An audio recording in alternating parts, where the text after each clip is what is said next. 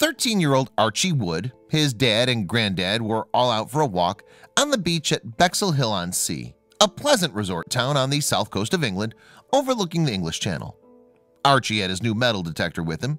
However, what he found that day wasn't metallic, and yet it was astonishing. Archie had spotted a peculiar shape protruding from the beach. His granddad Neil Wood subsequently told the Bexhill on Sea Observer he was so excited he couldn't believe what he was digging up. He saw it sticking out of the sand. He pulled out this enormous tusk. But Archie's dad, who was doing a bit of fishing from the beach at Bexhill, wasn't so sure that this find was anything special. In fact, he thought that it was just an old bit of rotting wood and advised his son to chuck it back into the sea. But Archie was having none of that. He was determined to hang on to his discovery. And the story of his find then made its way to the local paper, with the tusk being identified as belonging to a prehistoric mammoth, which is a pretty exciting discovery in an English seaside town. That wasn't the end of the story, however. A few months later, Archie and his family paid a visit to the Isle of Wight. That's an island in the English Channel, just a short distance out to sea from the port city of Portsmouth.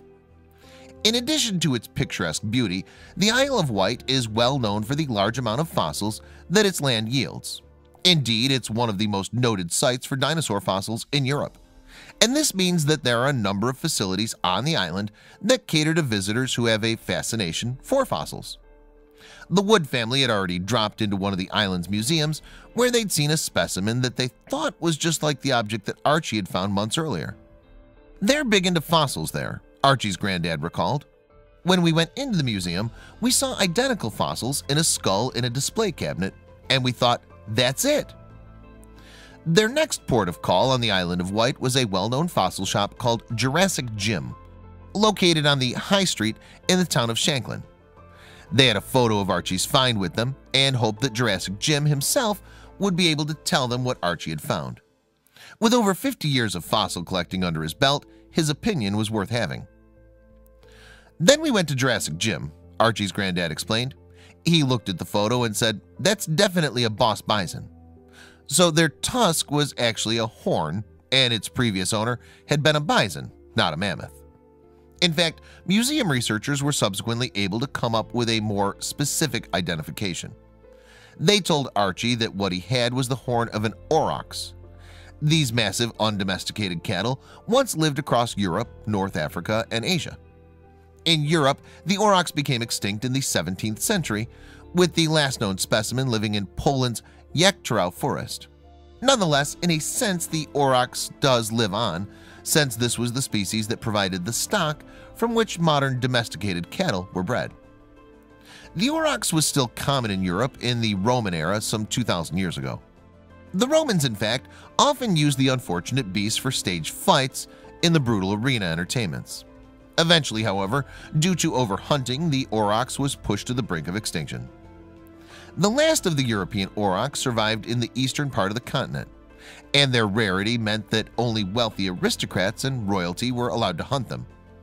As we've seen though, even this was enough to drive the magnificent species to extinction. Archie's ancient aurochs horn is most likely between 4,000 and 6,000 years old, from a time when the south of England was heavily forested. Speaking to Mail Online, Julian Porter of Bexhill Museum said, it would have been a late Neolithic and early Bronze Age forest that certainly would have had aurochs charging around it. Porter also said that there had been a range of findings that indicated the existence of an ancient ecosystem in southern England. When the tide was out, he explained, it was still possible to see the remains of prehistoric trees dating back to around 5,000 years ago. It's the sort of thing that we assume was living in the forest, but we didn't have hard evidence, Porter continued in reference to the aurochs. We'd found domestic horse remains, cattle bones, wolf bones, and indeed human bones as well, which are quite tame in comparison to Archie's find. But now Archie had a dilemma about his fantastic find. Jurassic Jim had told him the horn was worth between 160 and $190. That's really quite a lot of money for a 13-year-old boy, rather a tempting amount. But after wrestling with his conscience, Archie decided to do the right thing.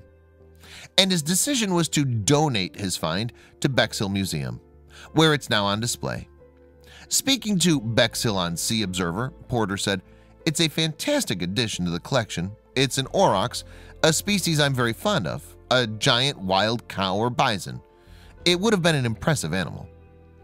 And Porter paid tribute to the public-spirited generosity of young Archie. It really was so good of him to report it and bring it in so everyone can enjoy it, he said. Hopefully the love of history he has will stay with him. Archie's dad thought that was a plank of wood. Archie and just about everyone else believed for several months that it was the tusk of a woolly mammoth. But the mystery was finally solved when the tusk was identified as an aurochs horn. And if you'd like to see it, just drop into the Bexhill Museum in England.